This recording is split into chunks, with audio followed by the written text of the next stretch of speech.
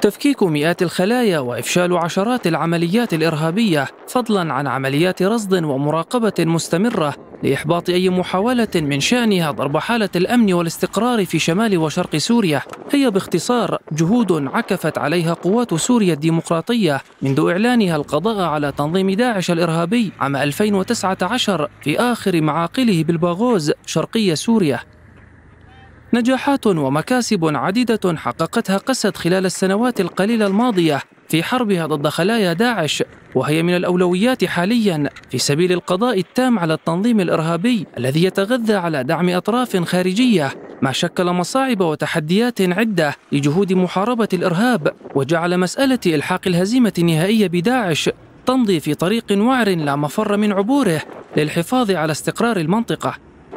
ولعل التغييرات الأخيرة بمناطق النفوذ والسيطرة في المدن والبلدات المحتلة شمالية سوريا وسيطرة جبهة النصرة ذراع تنظيم القاعدة في سوريا بأوامر تركية على عدة مناطق إضافة للتهديدات التركية المتواصلة هي من أبرز عوامل استمرار خطر داعش وأخواتها من المنظمات الإرهابية في شمال وشرق سوريا.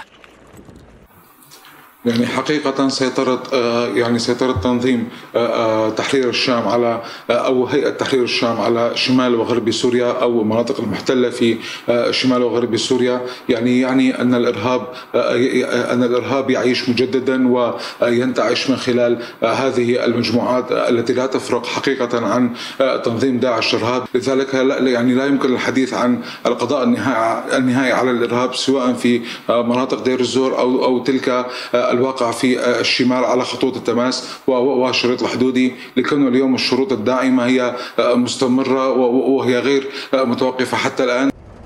بؤرة الإرهاب التي تكبر يوما بعد يوم في الشمال السوري المحتل بدعم تركي وضعف الدعم الدولي المقدم للإدارة الذاتية والتجاهل المتواصل لقضية محتجزي داعش وعوائلهم في شمال وشرق سوريا تعد من أبرز العراقيل التي تقف عائقا أمام جهود القضاء على خطر الإرهاب.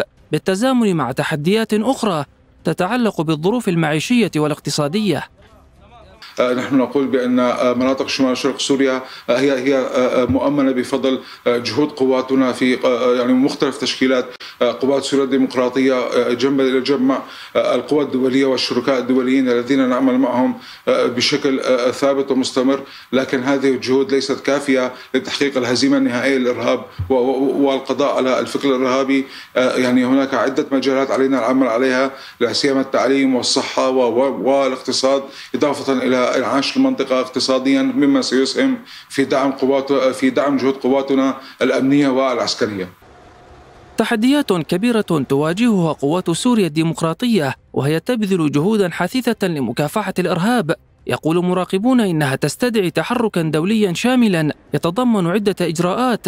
على رأسها ردع تهديدات الاحتلال التركي المستمرة ودعم الإدارة الذاتية لشمال وشرق سوريا في مختلف المجالات.